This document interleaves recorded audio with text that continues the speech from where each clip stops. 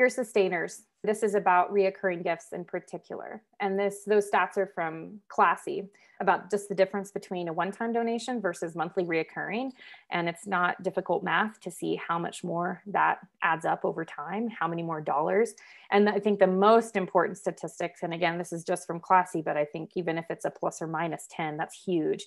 Within one year of signing up, reoccurring donors make additional one-time gifts of 75% more often than your one-time donor. So that, I mean, I, I know that's the case for me when I think about organizations that I was especially involved in in the past. And when I had something set up as reoccurring, how much more I was staying in the know about the work that they were doing just because I was part of their reoccurring donor group, they had a specific communication strategy to keep reoccurring donors in the know. Because of that additional engagement, I wanted to support more in unique ways or support some special project that maybe my reoccurring gift was to general funds, to a general donation.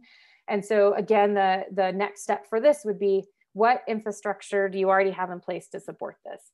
How clean, clear is it? How, how prominent is it?